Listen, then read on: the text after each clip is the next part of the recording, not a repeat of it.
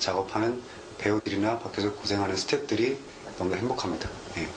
그러니까 보시고 나서 다들 행복해졌으면 좋겠습니다.